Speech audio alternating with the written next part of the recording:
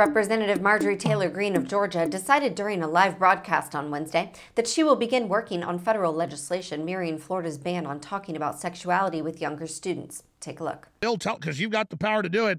We would all get behind you a bill to pull federal funding out of any school that sexualizes children. Absolutely, 100%. I'll meet with my le- like I'll meet with my team right after this interview and we will get to work on it, Alex, because I will do anything I can to protect kids and um, I, I'm one. I only want allies. You know what? If someone doesn't like me or my legislation, then who cares? The Daily News reports that billboards encouraging people to say gay are popping up across Florida in response to the controversial anti LGBTQ legislation known as the Don't Say Gay Bill, which was signed into law by Governor Ron DeSantis early this week and it's set to go into effect July 1st. On Monday, the Republican governor enraged LGBTQ advocates, civil rights groups, Florida educators, and students, as well as several national politicians and Hollywood celebrities, when he gave his final blessing to the state's parental rights and education bill. For weeks, discussion on the Don't Say Gay bill captured national headlines.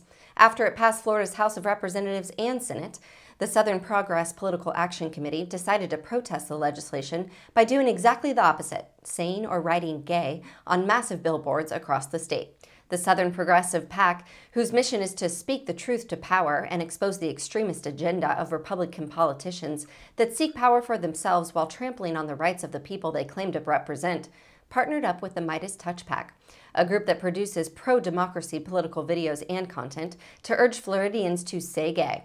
After the project was approved by billboard vendors, the group ran an online fundraising campaign to help make the attacks from Ron DeSantis and Florida Republicans backfire.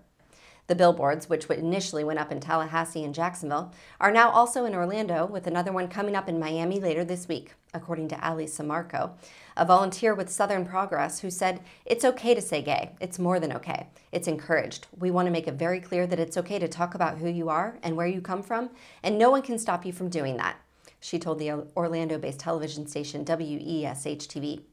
Slammed as hateful, homophobic, transphobic, and dangerous by critics, the legislation prohibits school districts from encouraging classroom discussion about sexual orientation or gender identity in primary grade levels or in a manner that is not age appropriate or developmentally appropriate for students. It also allows parents to sue a school district for violations.